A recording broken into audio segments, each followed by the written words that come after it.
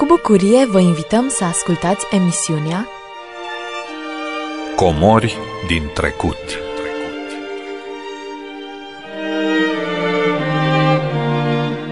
Iubiți ascultători, în cadrul emisiunii Comor din trecut veți audia un mesaj de arhivă prezentat de păstorul Aurel Popescu. Audiție plăcută!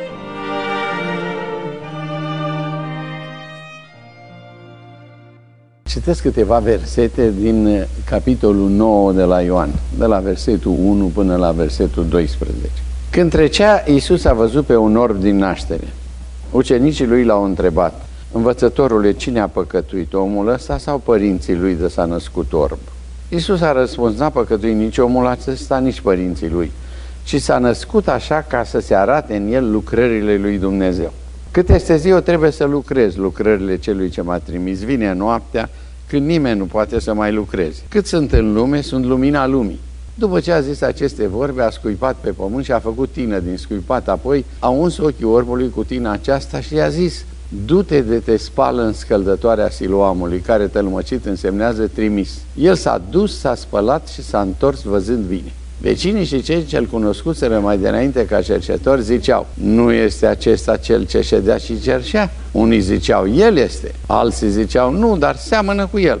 Și el însuși zicea, eu sunt. Deci au zis, cum ți s-au deschis ochii? El a răspuns, omul acela căruia îi se zice Iisus, a făcut tină, mi-a uns ochii și mi-a zis, du-te la scăldătoarea siloamului și spală-te. M-am dus, m-am spălat și mi-a încăpătat vedere. Unde este omul acela?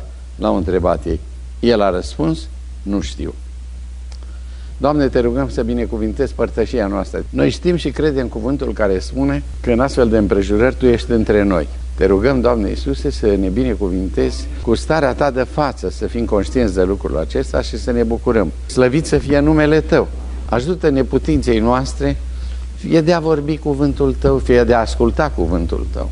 Te rugăm să ne izbăvești de orice lucru rău și să zidești de noi o inimă curată, să ne dai adevărata vedere spirituală ca să te cunoaștem și să te recunoaștem în tot timp. Fie numele Tău slăvit, al Tatălui, al Fiului și al Duhului Sfânt, de acum și până în vecii vecilor.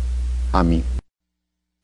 Vreau să vă spun mai întâi că cele mai interesante mărturii sunt cele ce istorisesc întâmplări, nu opinii. Vezi, un evanghelist sau un predicator care poate nu are prea mult har, dar se pregătește, citește, sunt uh, lucruri scrise foarte bine, e în stare să le redea. Și dacă are și în cel talent, ne încântăm de ce auzim. Deși s-ar putea să nu ne transmită nimic dacă el ne dă numai din literatura citită. Dar asta poate să facă oricine, să instruiește, îi dă drumul și vorbește.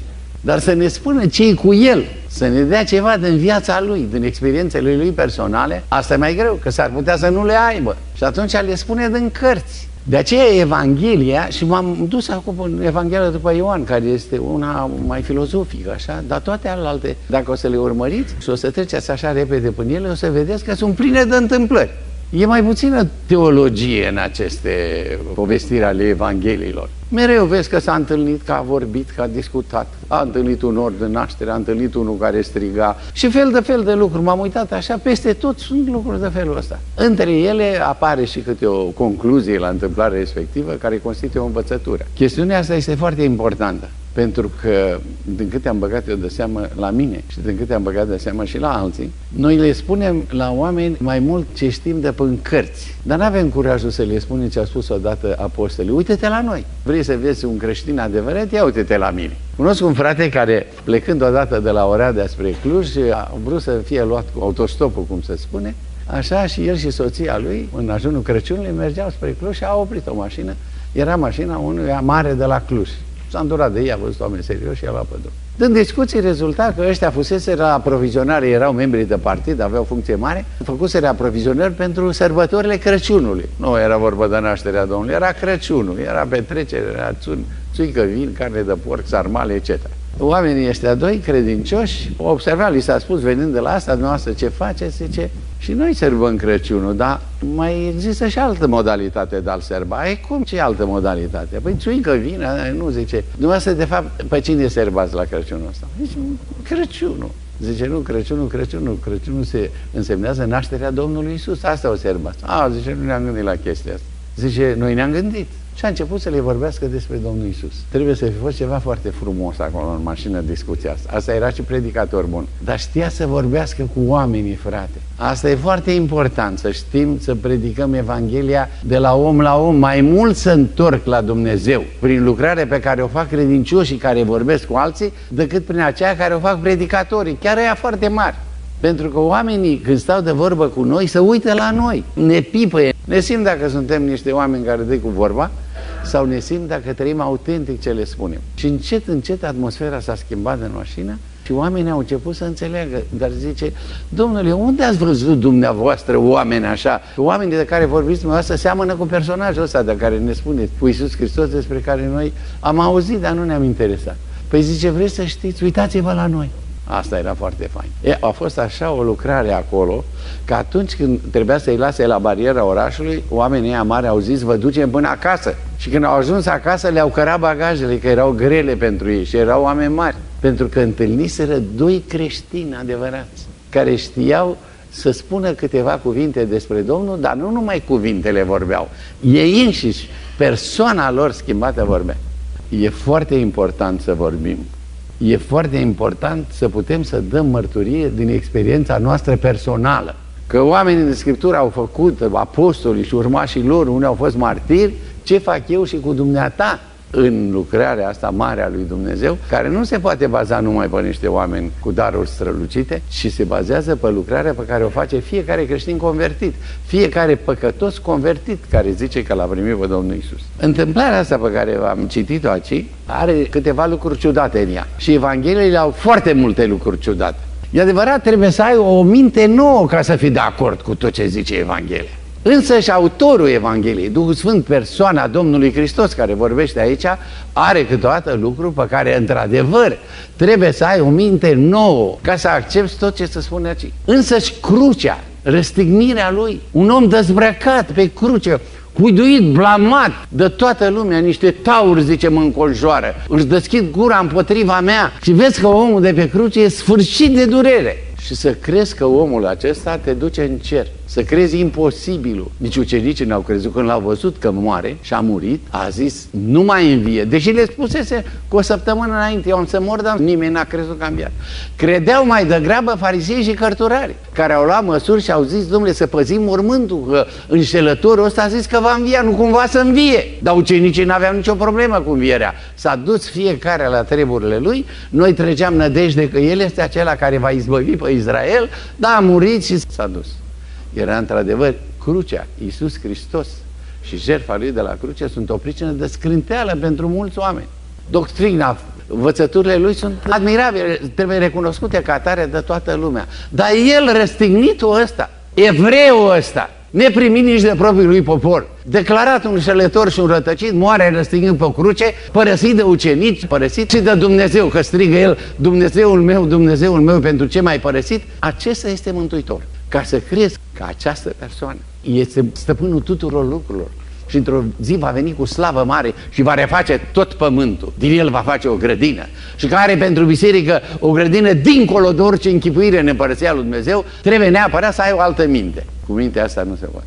Sunt multe lucruri de astea. Noi trecem câteodată peste acele lucruri cu oarecare bunăvoință. Zice, domnule, nu e nimic de înțeles, dar trebuie să fie adevărate. Nu aveam aproape nicio explicație. Este un text în Isaia, capitolul 28, versetul 21, în care se spune despre lucrarea lui Dumnezeu că este o lucrare ciudată și neauzită. Este o excepție. Păi uitați-vă la urmă. Versetul 1 spune că Iisus trecea, a văzut un orb din naștere și până la urmă orbul ăsta s-a vindecat. Domnule, i-am înțeles mai bine pe orbii care au strigat, Iisuse, Fiul lui Dumnezeu, ai milă de noi. Dar ăsta nu are probleme. Ăsta este orb și nu-l interesează. Sigur că era zarvă că lumea care îl însoțea pe Domnul Iisus era agitație. Este Iisus prorocul, să zicea pe unde trecea. Ăsta nu zice nimic. Că nu zice el, nu zice. Dar e cineva care îl vede. Nu? Iisus trecea pe acolo. De unde văd că Iisus nu vine numai la cei ce îl cheamă. Dacă mă veți cheva din toată inima, mă veți găsi. Dar vine Iisus și caută pe aia care nu întreabă de El. M-am lăsat găsit de cei ce nu întrebau de mine. Ăsta e unul din cazurile astea. Unii aleargă, caută și nu găsesc. Iisus caută și găsește. Nu numai pe cine îl caută, ci Iisus caută pe oamenii și care nu se preocupă de El. și are milă de toți, fiindcă Dumnezeu voiește ca toți oamenii să fie mântuiți și să vină la cunoștința adevărului. Faptul că Isus trecea pe acolo era singura șansa lui. Șansa lui nu era numai să vadă, care nu se mai putea. Șansa lui era să se întâlnească cu această persoană și singur nu se putea întâlni. De aceea Isus a venit la el. Șansa noastră ca să fim mântuiți este zero. Niciun om nu poate să fie mântuit prin propriile lui forțe. Despărțirea noastră de Dumnezeu și prăpastia asta atât de adâncă și atât de largă, încât nicio punte omenească nu trece peste ea. A trebuit Isus să se facă prin crucea Lui această punte. Și faptul că Isus a trecut pe acolo, că Isus a venit în lumea noastră, știm precis din Scriptură că a venit să caute și să mântuiască ce nu se putea mântui, ce era pierdut, ce pierdut pentru totdeauna. Eu și cu dumneavoastră, probabil cei mai mulți de aici, suntem din categoria aceasta, peste care Isus a dat El peste noi, că noi de El nu dădeam niciodată. Deci, faptul că era ordănaște ridica probleme. Să știa că oamenii care fac păcate mari au năpaste mari. Dar asta nu făcuse niciun păcat. Ăsta era ori de naștere, așa s-a născut. Și ăștia sunt dispuși să facă filozofie pe treaba asta. Domnul Iisus trece repede pe asta. Nu aia ne interesează prea mult. Interesează ce spune Domnul Iisus, uite ce este. Să știți că eu cât sunt în lume, sunt lumina lumii. Asta este lucrarea lui Dumnezeu și eu fac lucrarea lui Dumnezeu. Lăsați chestiunea asta că de ce s-a născut așa, că nu făcuse păcat. Și după ce a zis aceste vorbe, uitați-vă dumneavoastră ce face. A scuipat pe pământ, a făcut tine un pic de noroi, apoi a uns ochii corbului cu tine asta. Mi-am zis că ăsta, dacă mai avea o licărire de lumină, dar n-avea, că era ordinaște, cu tine asta pe ochi era terminat de tot. Puneți dumneavoastră. Și apoi ăsta e medicament, fie nu era câtă lumea și pământul. Așa, tina asta l-a vindecat. Dar chestiunea asta este neobișnuită. Lui ăsta nu-i trebuia tină. Îi trebuia poate o vorbă, un cuvânt, un gest, o atingere a mâinii lui Isus. Aici se întrebuințează tine. Câteodată metodele lui Dumnezeu, mijloacele lui sunt cu totul ieșite din comun. Odată a întâlnit Domnul Isus unul cu mâna uscată. O mână uscată este o mână care nu se ridică deloc. E așa, țapă. Iisus îl întâlnește și îi spune, întindeți mâna. Păi cum să o întind, Doamne, ar fi trebuit ăsta să zică? Păi tocmai asta nu pot să fac. Nu pot să întind mâna. Altceva dacă ai să-mi spui. Dar asta n-a zis așa. Trebuie să fie fost o autoritate dulce în vorba Domnului Isus, că el mai ales cu bolnavii nu le zicea ca la farisei vai de voi, avea o dragoste specială față de ei. Ăsta a fost într-o ispită în primul moment. Cum să întind mâna dacă e uscată? Dar dacă Isus i-a zis, a făcut un gest și mâna s-a ridicat. Aici se arată foarte bine și în întâmplarea cu omul ăsta care face ce face, că există o colaborare între lucrarea lui Dumnezeu și noi. Noi nu suntem niște automate pe care Dumnezeu să apese butonul și ne-a făcut credincioși. Nu. Iisus ne cheamă și zice, veniți! Cine vrea să vină, vine. Cine nu vrea să vină, nu vine. Și cu sila Dumnezeu nu-l trage. Ba la un moment dat le-a zis la ucenici, voi nu vreți să plecați, că unii l-au părăsit. Nu e nimic din prozelitismul ăla care se face, veniți la noi, că la ele alții mai slabă treabă. Nu, nimic din această chestiune. Ucenicii cheamă pe oameni la Domnul Isus, nu la noi. Ce să le dăm noi? Chestiunea este că așa se întâmplă și cu orbul ăsta. Orbul ăsta aude cuvântul, du-te și spală-te. Și se duce, nu. Păi dacă e să fie vindecat, putea să se facă fără gestul ăsta. Era colaborarea lui la treaba asta. Vrei să fii vindecat? Ascultă. Du-te. Și omul se duce se spală, s-a dus, s-a spălat și s-a întors văzând bine. Este prima fază în procesul renașterii acestui om. Și chestiunea este următoarea, că acest lucru n-a fost scris numai ca să luăm act de o întâmplare care s-a petrecut acum 2000 de ani. Așa cum spune în epistola către Galaten, lucrurile acestea au și alt înțeles. Au fost doi munți. Unul Sinai, despre care se zice că ce s-a făcut la Sinai a născut un popor pentru robie. Și unul la Golgota, care a născut un popor pentru libertate. Dar Apostolul Pavel spune, nu Sinaiul și cu Golgota în sine munții ăștia sunt mare lucru, ci ce vor să ne spună ei. Și el zice, lucrurile acestea trebuie luate în alt înțeles. Și întâmplarea asta n-ar fi avut atâta eco, că de 2000 de ani tot vorbim despre ea, dacă n-ar avea un înțeles care să ne privească pe noi toți ar fi murit în fașa. A fost, a fost ceva miraculos, a terminat. Dar de 2000 de ani tot citim paragraful ăsta și îl predicăm și se întorc oamenii la Dumnezeu din citirea acestui paragraf. Pentru că omul ăsta ne reprezintă pe noi, pe orice om. După Sfânta Scriptură, omul să naște orb, nu devine orb. Cu natura lui omenească, el vine orb pentru lumea spirituală. Am fost la București și am intrat în casa în care am stat eu înainte de a pleca din țară, ultima casă înainte de securitatea mi-a zis să plec. E o casă pe Bulevardul Cantemir, pe lângă blocul Turn acolo, și mi-a fost dor să mai văd o dată casa aia, dar cum să intru în casa aia? Și atunci, totuși, m-am pomenit că mă sui pe scări, la etajul întâi, la casa aceea, dacă sus o dată pe bulevard, lângă blocul la turn, este o vilă frumoasă, eu ocupam etajul cel mai bun. Am intrat și am sunat și m-am gândit ce zic acum după ce iese cine a ieșit. A ieșit o doamnă respectabilă, așa, dar a lăsat ușa deschisă. Zic, doamnă, eu mă numesc Aurel Popescu. Eu am stat în casa asta ani de zile. Zic, uite, în colțul din stânga e baia. În dreapta, care nu se vedea, zic, e un dormitor. În stânga e altul. Nu, aici e o sufragerie mare, zice, nu e mai trebuie nimeni. Zice, poftiți, domnul Popescu, poftiți înăuntru. Am intrat înăuntru. Primul sfat care l-am dat, doamnă, să nu mai deschideți ușa chiar așa ușor la alții. Cu mine ați nimerit-o bine, sigur că o să fie bine. Și imediat am văzut o Biblie. Citiți care? Da, zice, citesc cartea asta. A, și eu citesc. Și, după câteva cuvinte, nu știu, schimburi de-astea amabile, zic, și sunteți creștină? Păi zice, bine, domnule, mi se pare că ți-am spus că citesc cartea asta. Bineînțeles că sunt creștin. Zic, doamnă, nu m-ar deranja prea mult dacă n-ar fi fost cuvântul bineînțeles. Oamenii nu sunt bineînțeles creștini, sunt bineînțeles păcătoși. Dar creștini nu sunt toți. Zic, și de când sunteți creștină? Păi zice, de când m-am născut. E, asta e mai greu. Zic, uite cum este, doamnă, creștinismul ăsta de când ne-am născut nu e din Biblie, să citiți Biblia acolo și creștinismul ăsta e altul, nu e ăla din Biblie. A, zice, pardon, nu de când m-am născut, de când m-am botezat. Mai sunt unii care cred astăzi că dacă botează copiii i-a făcut creștin. Asta este o fantezie. Chestiunea este următoarea. Zic, doamnă, ați mai amânat cu 8 zile, dar pe dumneavoastră v-a întrebat cineva când v-a băgat în apă, v-a făcut creștin cu forța așa? Nu v-a întrebat nimeni, nici nu avea pe cine să întrebe. Dumneavoastră după asta putea să vă faceți budistă sau dacă veți fi născut acolo, acolo era. Credeți dumneavoastră că gestul ăsta a schimbat ceva la dumneavoastră? Păi n-a schimbat nimic. Dumneavoastră când v-ați născut, v-ați născut ca să fiți un om. Și uite, sunteți și Dumnezeu v-a dat sănătate până la vârsta asta. Știți ce vă mai trebuie dumneavoastră?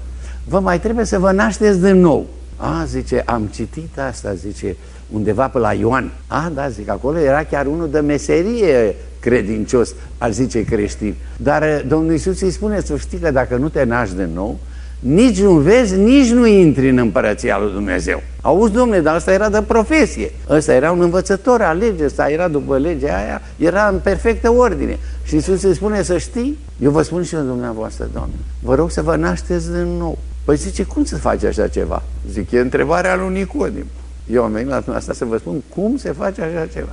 Am ținut cea mai bună predică acolo din București, am stat două luni, dar aia a fost venirea mea la București. Conversația cu doamna aceasta. I-am trimis o carte a lui Tudor Popescu, Veniți la Isus, din Betania la Golgota.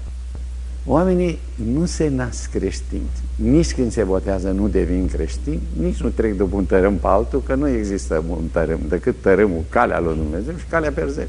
Copiii nu intră în discuție. Să intrăm în discuție ce se întâmplă cu copiii, este să ne apucăm să discutăm cum au lansat ăștia discuția, de ce s-a născut ăsta, ori că nu făcuse păcate nici el, nici părinții lui. Nu, este să ne apucăm de alte vorbe decât alea care trebuie. Chestiunea este simplă. Există o cale a vieții și o cale a morții. Oamenii sunt ori pe una, ori pe alta. Și e nevoie ca să treacă de pe una pe alta prin naștere de nou. Prima chestiune care declanșează nașterea de nou este o întâlnire cu Isus. Fără întâlnirea asta cu Domnul Isus nu există naștere din nou. Nu există creștinism. Și dacă unii dintre noi ar fi creștini care n-au trecut pe aici, care nu știu ce e asta, și numai că nu știu, că unii au învățat ce e asta, domne, ne țin lecții despre nașterea de nou. Și când îi vezi cum trăiesc, vezi bine că nu sunt născuți de nou. Dar lecția asta se învață. Se învață ca toate lecțiile. Dar cine are legătură cu Dumnezeu simte destul de repede că respectivul știe lecția, dar nu are prinse în sufletul lui și s-ar cuveni să ne întrebăm, noi o avem? Eu m-am trezit acum într-o dimineață, Valerica, ăla, ăla nu era nimeni acasă, zic, Doamne, a venit răpirea și eu am rămas pe pământ. Și când știam că dacă a venit răpirea, eu în biserică nu o să mai fiu niciodată și că vine anticrist și eu am intrat în altă categorie, m-au trecut răcorile, că Valerica a apărut. Mulțumesc, Domnul. N-a venit răpirea încă, că trebuia să plec și eu. Bun. Și începe procesul ăsta, ăsta vede. Ăsta s-a născut din nou. Și s-a născut așa de bine de nou, deși nu l-a văzut pe Isus, că Isus a plecat până să se întoarcă ăsta, Isus nu mai era acolo. Nu era acolo, dar el era lui Isus de momentul ăsta. Și a născut discuții. Mi-am în ce discuții am mai avut după ce m-am născut de nou. Eu m-am născut de nou pe la ora 11 jumătate, la 24 decembrie 1939. Eu știu cum m-am născut de nou. Nu știu la ce oră m-a născut mama, dar când m-am născut de nou știu precis.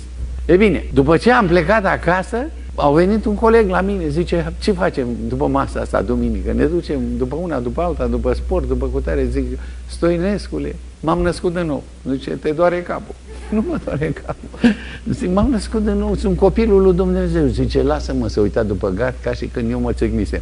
Zice, lasă că mai viu pe la tine, lasă, lasă, liniștește-te. Eu eram foarte liniștit. Peste o săptămână când m-am la școală, le-am spus la colegi lunea, le-am spus la școală, bă, fraților, eu m-am pocăit, m-am întors la Dumnezeu. Zice, bă, azi nu avem religia, că era oră de religie. Zice, mâine avem religia. Măi, lasă religia, eu l-am primit pe Domnul Isus. S-a făcut uh, gol în jurul meu. Până la urmă m-a dat afară din școală. După aia m-a dat afară și de la servici, după aia m-a dat afară și din țară. Am ajuns bine. Mulțumesc Domnului. Dar mai ales m-am născut de nou. Sunt copilul lui Dumnezeu. Dar atunci n-aș fi putut eu să zic că îl cunosc pe Isus. Aș zice că l-am primit am primit vindecare, am știut că am păcatele iertate. Pocăință? Aproape deloc n-am avut atunci. Pentru că eram așa de bucuros că Isus mi-a iertat păcatele, încă nu m-am mai preocupat problema păcatului. Ea a apărut de-abia la mine în conștiința mea după ce m-am întors la Dumnezeu. Eu m-am întors așa printr-o străfulgerare, printr-o lumină neobișnuită, am înțeles că Isus a murit pentru mine, că zice să viu la El și că trebuie să viu. Și am venit fără să înțeleg ce înseamnă asta, dar am venit, am zis, viu Doamne Iisuse, nu, nu știu bine cum e asta. Și inima s-a umplut de bucurie.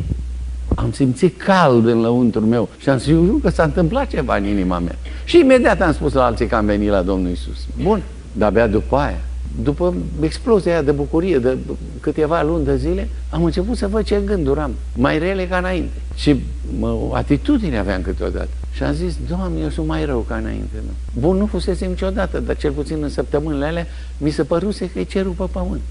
Până a dat un om de mine și mi-a spus, frate, te-ai întors cu bucurie la Dumnezeu, dar Dumnezeu nu știi ce fire ai. Aia nu s-a întors și nu se întoarce niciodată. Și e un diavol și e o lume care te ispitește ei, ai să înveți pocăința. Fraților, pocăința aș zice că nu e atâta pentru ea de afară, cât e pentru ea din lăuntru, pentru credincioși. Apostolul Pavel spune în Faptele Apostolilor, când descrie odată întoarcerea lui la Dumnezeu, zice următorul lucru, zice, v-am vestit Evanghelia Dumnezeu m-a chemat, îi spune Domnul Iisus, m-am arătat ție să te pun slujitor și martor, atât a lucrurilor pe care le-ai văzut, cât și a lucrurilor pe care mă vei vedea făcându-le. Te-am ales din mijlocul lumii, din mijlocul norodului la care te trimit, ca să le deschizi ochii să se întoarcă de la întuniri la lumină și de sub puterea satanii la Dumnezeu și să primească prin credința mine iertare de păcate și moștenirea împreună cu cei sfințiți. De aceea împărate Agripa e scena de la procesul lui. N-am vrut să mă împotrivesc vedenei cerești, ci am propovădit întâi celor din Damasc, apoi în Ierusalim și în toată Iudea, să se pocăiască să se întoarcă la Dumnezeu și să facă fapte vrednice de pocăința lor. Dacă ne-am pocăit, trebuie să facem niște fapte la nivelul pocăinței. Faptele noastre sunt sărace, pentru că nivelul pocăinței noastre este foarte jos. Noi credem că ea trebuie să se pocăiască. Noi trebuie să ne pocăim, frate. Că ea nu sunt conștienți de păcatele lor. Noi suntem conștienți de păcatele noastre, dacă nu cumva suntem și noi inconștienți. Dar în momentul când ne dăm seama că am păcătuit, să ne pocăim. Eu cred că avem timp de pocăință fiecare zi. Mi-a spus fratele Richard că a venit peste el o stare foarte grea. Și a venit o stare grea, grea de tot peste el. Și în starea asta copleșitoare și-a adus aminte de toate păcatele lui. Dinainte și mai ales de alea pe care le-a făcut după ce s-a întors la Dumnezeu. Și a fost copleșit de ele. Și a părut rău. Și a plâns și s-a rugat Domnului să ierte, să ierte, cum zice David, iartă Doamne păcatele pe care nu le cunosc și alea trebuie iertate. Și un înger a venit și i-a spus în vedenia aceasta, să știi că cine știe să aibă penitență, cine știe să se pocăiască de păcatele lui, este mai mare ca marele preot care intra o dată pe an în Sfânta Sfintelor în templu și în cortul evreiesc, cu un sânge care nu era al lui, o dată pe an și cu frică și cu tremur. Zice, tu te apropii de Dumnezeu cu un sânge infinit mai prețios. Sângele lui Hristos De aceea pocăința, care duce la iertarea păcatelor și la eliberarea conștiinței de povară, ești mai mare decât ăla. E bine că te pocăiești. Vă recomand și dumneavoastră și mi-a recomandat și mie. Eu trecusem pentru o scenă asemănătoare, eu n-am avut harul unei vedenii ca el, dar și eu trec câteodată pe asta, că tot îmi aduc aminte de lucruri slabe, slabe rău în viața mea. Nu atât alea dinainte când era firesc să trăiesc în alea, ci în fapte făcute după aia, pe care nu le știe aproape nimeni. Fiindcă noi suntem unii în intimitatea noastră și cam alții pozăm în fața celorlalți. Dar la Dumnezeu poza nu ține, frate și soră. Trebuie să fim mai conștienți de ce suntem înaintea lui Dumnezeu și să ne pocăim. Zic de ce începe lucrarea lui Dumnezeu și ăsta zice, cine te-a făcut bine? Un om. Pentru prima fază este că omul acela, căruia îi se zice Isus, prima treaptă în cunoașterea Domnului Hristos la omul ăsta, este că Isus este un om. Și e adevărat, Isus a fost un om. Păi zice, când trecea Isus a văzut pe orbul ăla din naștere. Dar ce, nu știa că orbul ăla e acolo? Mai departe să zice, Iisus a auzit că l-au dat afară, o să ajung la faza asta. Cum adică Iisus a auzit că l-a dat afară? Iisus nu știa în vremea aia unde este pe pământ cea din urmă furnică. Iisus a fost om, om adevărat. A fost într-o dependență așa de totală de Dumnezeu și s-a zmerit așa de mult că Dumnezeirea aceea care era când era la Tatăl, când s-a făcut om, odată s-a dezbrăcat de slava aia și a devenit om ca noi a păstrat legătura cu Dumnezeu și dependența cu Dumnezeu și Dumnezeu i-a dat exact atâta cât trebuia să-i dea. Odată îi spun frații lui, spun, du-te la Ierusalim, că arată de lumii dacă faci ce faci. Iisus spune, nu mă duc. În textul nostru spune, încă nu mă duc. Am înțeles că în original vorba încă nu e. Nu mă duc. Și după aia s-a dus. Păi s-a dus fiindcă la ora aia tatăl a zis, stai pe loc. Și după aceea tatăl a comunicat, acum du-te. Nu e nicio contrazicere. S-a dus fiindcă depindea de tatăl tot timpul. De aceea, în această primă fază, el îl cunoaște pe omul Iisus Hristos. Și Iisus a fost om adevărat și Dumnezeu adevărat, într-o continuă dependență față de Dumnezeu. El și-a recapătat toată autoritatea aceea care o avea în cer la înviere și după ce a fost ridicat la cer. Da, omul ăsta vindecat stârnește discuții. Fraților, ce discuții să fac în jurul nostru când află oamenii că suntem credincioși? Aproape nicio discuție, că unii ne observă că suntem cam ca ei. Și unii ne zic, mă zice, ce faci tu pe pocăitul și pe creștinul? Că și tu chiulești. Și mai tragi câte o minciună ca să scapi din încurcătură. Du-te și fii cu mine, deci lasă-ne în pace cu pocăința dumitale și cu credința dumitale, că ești ca noi. Am văzut că nu-l suferi pe ăla, că cu șeful te cerți, că fel de fel de chestii de-astea faci. Mărturia asta văzută, rezultată din viață, e foarte puternică și dincolo de cuvintele pe care le spune. Ăștia l-au văzut însă schimbat pe omul ăsta. Era o primă schimbare. Acum, schimbare și transformare sunt două lucruri deosebite. Ăsta era și schimbat și transformat, dar nu era prea conștient de sine, pentru că încă nu-L cunoștea El pe Isus. Isus l-a cunoscut pe El și l-a vindecat. Și el știa doar că un om cu numele Isus l-a vindecat, dar să vedeți ce s-a întâmplat. A intrat pe mâna specialiștilor. Și ăștia au început să discute, domnule, zice, nu se poate, omul ăsta nu la Dumnezeu că nu ține sabatul. Ăsta zice, domnule, nu ține sabatul, dar eu știu cum a vindecat. Părinții sunt chemați, e un proces întreg. La un moment dat îi se spune orbului ăsta și el de-abia se născuse din nou.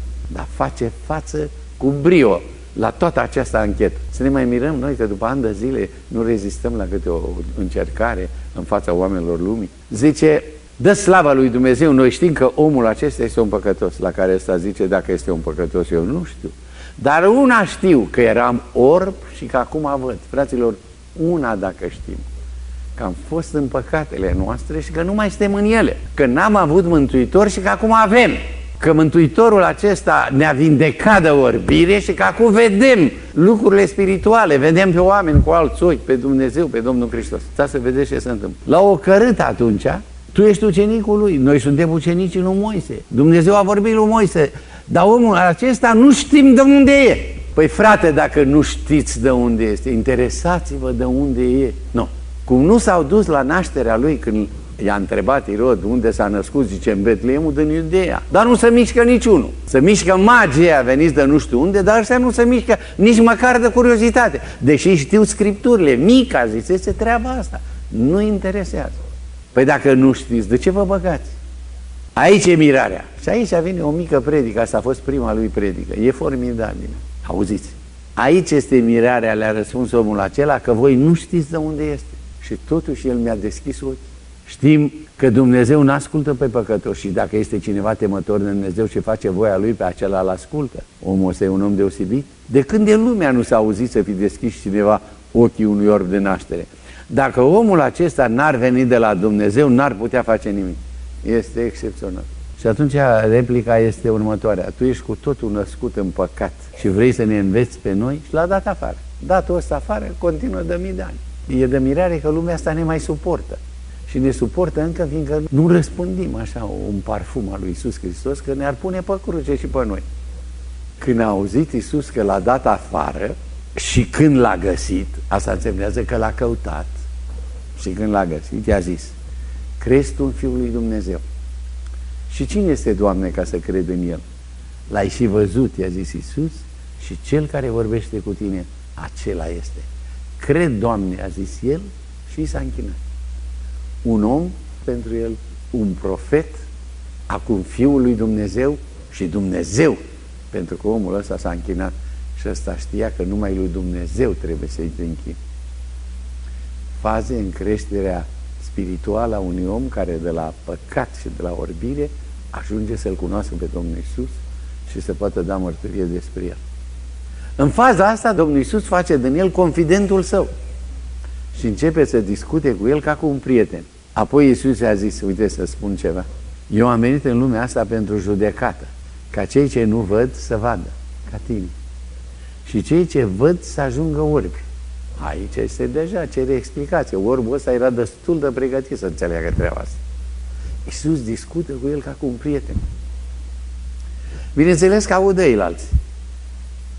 Neapărat ce, ce vorbește Domnul Iisus cu noi, auzi și alții. Și zice aici, unii din farisei care erau lângă el, când l-au auzit aceste vorbe, au zis, doar nu fi și noi orbi. Dacă ați fi orbi, le-a răspuns Iisus, n-ați avea păcat, adică n-ați fi vinovați. Dar acum ziceți, vedem, tocmai de aceea păcatul vostru rămâne. Chestiunea este următoarea. Sunt păcate care se șterg și păcate care rămân. Există o orbire care se vindecă și este o orbire care rămâne. Cine vine la Domnul Isus și primește jertfa Lui, sângele Lui care s-a vărsat pentru el, se vindecă. Omul ăsta devine un om al Domnului Hristos. Pasul următor care trebuie neapărat făcut este să ajungem acum să ne cunoaștem Mântuitorul. Îi mulțumim pentru iertare. Îi mulțumim pentru calitatea de copii al lui Dumnezeu pe care ne-a dat-o. Îi mulțumim pentru făgăduințele Lui nespus de mari și scumpe. Iisus ar vrea să-L cunoaștem pe El. Pavel, Marele Pavel, spune să-L cunosc pe El, dar tu care l-ai întâlnit pe drumul Damascului nu-L cunoști. Acolo este să-L cunosc de plin, să-L cunosc pe Iisus. Ar trebui să ne punem pe inimă chestiunea asta. Doamne, știu multe despre Tine, aud predici, citesc cărți. Ar trebui să ne întrebăm, dar pe Tine te cunosc cu adevărat. V-ați pomenit, fraților, vorbind, stând în casă singur, să izbucniți așa într-o laudă și să vă bucurați așa și să ziceți, Doamne, cum să te slăvesc? Ți-a adus aminte atunci că Isus e mare, că e bun, că e mântuitor, că vine. Și fără să te îngenui, fără nimic, să strigi. Să audă dracii de împrejur și să iasă afară. Să se bucure cerul, că ăsta nu se roagă numai când e la adunare sau dimineața și seara că are în el pe Hristos care cere să fie lăudat. Sufletul meu te caută pe tine, Doamne. Te caută, zice, în așternutul meu, până și noaptea îmi dă îndemnuri inima din partea ta. Fraților, nu-L cunoștea. Iisus îl știa pe el, dar nu-L cunoștea pe Iisus și zice, crezi tu că e Fiul lui Dumnezeu? El răspunde, cine este Doamne? L-ai și văzut și acum cunoaște pe Domnul Iisus la modul personal. Fraților, nouă ne-a dat Dumnezeu când stau să mă gândesc că de miliardele astea de oameni, eu sunt unul din privilegiați, că l-am primit pe Domnul Isus într-o zi, fără să înțeleg prea multe, că am păcatele iertate, că sunt copilul lui Dumnezeu și că într-o zi o să ajung acolo și eu probabil că o să ajung înaintea multora dintre dumneavoastră dacă nu cumva Isus va veni mai repede. Asta ar trebui să mă facă creștin de 100% mă gândesc eu ce proporții, în ce procente sunt eu creștin. Și mă descoper cu atâtea lucruri slabe. De aceea mă rog Domnului să mă ajute, să mă vindece și să nu mă lase. Fiindcă afară din mâna Lui este pericol de moarte. Dar în mâna Lui cea bună, pe baza făgăduințelor lui și a harului lui Dumnezeu care stăpânește peste mine. Și acum, cum putem manifesta această chestiune? Am primit credința, credința pe care Dumnezeu o dă aleșilor săi. Dacă această credință este aia, aceea, atunci asta neapărat să manifestă prin fapte. Pentru ca să credem nu ne trebuie dovezi. Cine nu vrea să creadă, nu va crede chiar dacă ar avea toate dovezile. Mai dovezi decât le-a dat Domnul la contemporanii lui că e Fiul lui Dumnezeu nu există, n-a mai dat nimeni vreodată. Și totuși cei mai mulți s-au împietrit și n-au crezut. Iar când a murit a rămas absolut singur și ucenicii l-au părăsit. Dovezile nu determină credința. Credința este un har pe care îl primesc anumiți oameni, pe care alege Dumnezeu o mare a lui dragoste, dar ea se manifestă după aceea prin fapte. Nu există dovezi pentru credință, dar ea se dovedește, ea credința că e adevărată, prin viața pe care o trăim, prin faptele pe care le facem. Ar trebui să ne întrebăm măcar la sfârșitul unei săptămâni ce profit am adus noi lucrării lui Dumnezeu, oamenilor lui Dumnezeu, prin faptul că am făcut umbră pământului care este teritoriul lui, este proprietatea lui. Câți beneficiază de pe urma noastră că existăm ca copii ai lui Dumnezeu? Și sunt atâtea nevoi. Nu atât a celor care de bine de rău au ajuns pe aici, ci a altora care sunt dincolo sau sunt în prejurul nostru și au nevoie de noi. Iisus spune că suntem colaboratori cu El la această lucrare. Ar trebui să ne gândim cum să ne facem mai bine partea. Pentru ca să nu sosim în cer numai pentru că El ne-a mântuit, ci să mergem acolo să ne bucurăm în cer, nu numai de rodul suferințelor Lui, și de lucrurile pe care noi le-am adus ca prin de recunoștință Domnului Isus. Cred că v-am mai spus chestia asta. Unii zic, frate, zice, da, e adevărat, da, zice, eu sunt mulțumit că sunt copilul lui Dumnezeu și sunt slave adevărat, da? Dacă o să intru în cer, cum am intrat în cer, acolo mă și bag pe stânga sau pe dreapta într-un colț acolo. Zic, frate, să nu te super, e așa o aglomerație pe colțul ăla, că toată lumea se bagă pe colțul ăla. Ar trebui să fiți merit aici și să te așezi mai la urmă aici, la colț, pentru ca Iisus să zică atunci, prietene, treci mai în față. Nu te repezi la colț, nu fi modest acolo, fi modest aici. Iar acolo Iisus îți va zice, prietene, treci mai în față. Să ne ajute Dumnezeu. Dacă vă mai aduceți aminte vreodată de mine, eu am îmbătrânit. Am serbat nunta de aur. Am împlinit 50 de ani de când m-am căsătorit cu nevastă. Și unde eram eu la adunarea aceea foarte bună, Dumnezeu acolo m-a mântuit și mulțumesc Domnului pentru frația aceea. Nu prea se făcea nuntă cum facem noi, cu o mireasă și cu nu știu ce, mă rog. I-a zis lui nevastă mea, dragă nevastă, mireasă te fac de data asta. Și fiindcă toți ăștia se duc în Hawaii, te duc și în Hawaii. La care nevastă mea zice, poate că te-ai îmbolnăvit-o mai acum, când am 50 de ani, nu trebuie mireasa asta. Mulțumesc lui Dumnezeu. Azi am chemat la telefon și a zis, Valerico, să știi că te iubesc. Aoleu, zice, ce-ai pățit? N-am pățit nimic, Valerico. Eu ți-am mai zis și acasă treaba asta, nu înțeleg întrebarea asta. Mulțumesc lui Dumnezeu că și eu și Valerica și copiii mei s-au întors la Domnul. Au venit cu serbarea asta, toți copiii mei, 8, au fost acolo și nepoții nu se puteau toți, că unii de-abia s-au născut, o stră nepoată s-a născut acum câteva zile. Suntem vreo 40 de ani și fac o biserică numai cu casa mea. Încă puțină, foarte puțină vreme. Și cel ce vine va veni și nu va zăbori. Cel neprihănit va trăi numai prin credință. Dar vorba fratele Richard zice că unul tot lămurea că nu ne trebuie altceva. Credință, credință, numai credință. Dar Richard a zis, frate dragă, crezi că nisca e fapte strică? Nu strică, frate, să le facem. Iubiți ascultători, ați audiat un mesaj de arhivă prezentat de păstorul Aurel Popescu. Dumnezeu să vă binecuvinteze!